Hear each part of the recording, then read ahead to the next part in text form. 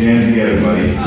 By the way, congratulations on 25 years of passion warfare. Oh, Talk about setting the bar way high. Amazing, man. You know, you set the bar pretty high yourself, John.